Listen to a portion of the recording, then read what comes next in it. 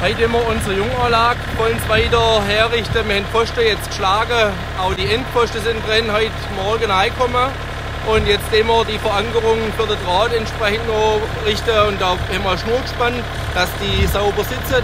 Und jetzt bohren wir die Anker entsprechend in den Boden, sodass dann die Pfosten äh, festgemacht werden können.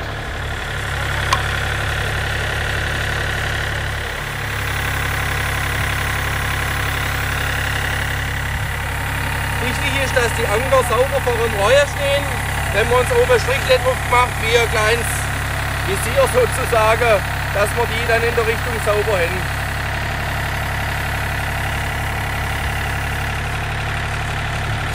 So.